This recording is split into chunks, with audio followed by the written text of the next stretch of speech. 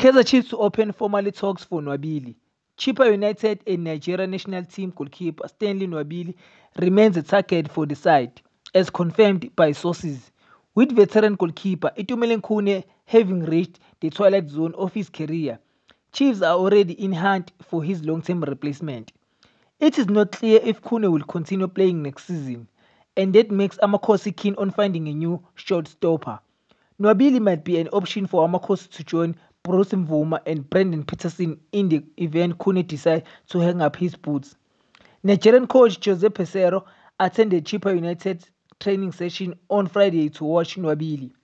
Nwabili is keen on reviving his international international career with nigeria he has, he has one super eagles cap and end in july 2021 when